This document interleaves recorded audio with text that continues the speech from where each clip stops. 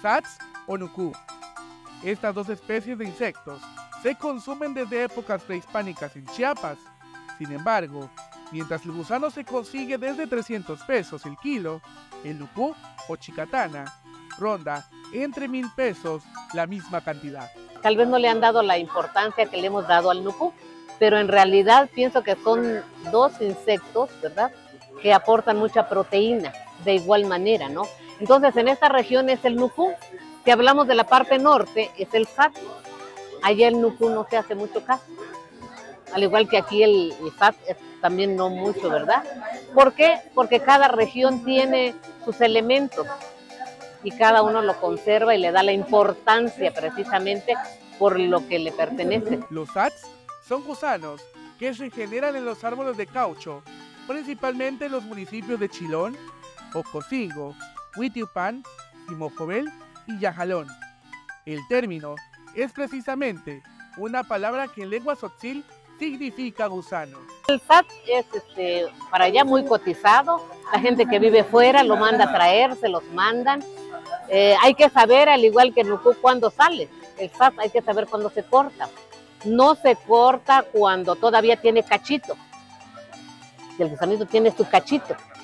Se va a cortar cuando ya cayó el cachito y ya está macizo. Si lo cortas con cachito te da una gran diarrea. Entonces no, no, todo tiene un, un porqué y cada lugar conoce ¿verdad? esos elementos, esas, esos tips ¿verdad? que tiene que saber. Un grueso de la población de Chiapas espera con ansia los meses en donde se puede disfrutar de este gusano, el cual es preparado de distintas formas e incluso es mandado a otras regiones Hay que quitarle la cabecita y jalarlo y sale todo y queda una tripa lavada limpia.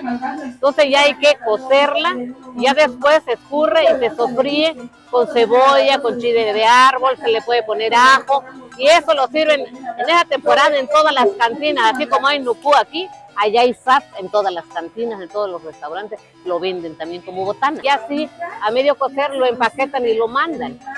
Así como el nucú, igual, lo empaquetan y lo mandan. Para algunos paladares, el posar un insecto en la boca puede resultar la sensación menos agradable. Sin embargo, la entomofagia es una práctica que se sigue manteniendo vigente. Para algunos, puede representar hasta un lujo, debido al costo de los productos. Sabía gusano, va a decir, pero no te puedo decir, eh, o sea, es como el nuku, decimos una descripción, no hay cómo es el que lo pruebe, vas a ver. Al dorarlo se hace un chicharrón, prácticamente. Sí, depende cómo lo hacen, pero lo hacen doradito, es un chicharrón. Tiene una textura de chicharrón, no sabor, es una textura que tiene como de chicharrón. Por kilo generalmente lo vendían el año pasado todavía en 300, 400 pesos. El nucú se encareció el año pasado y es porque antes estaba mucho más barato. Es el año pasado que no hubo porque se subió de una vez de precio. Pero igual. Con imágenes de Christopher Canter, para Alerta Chiapas, Eric Chandon.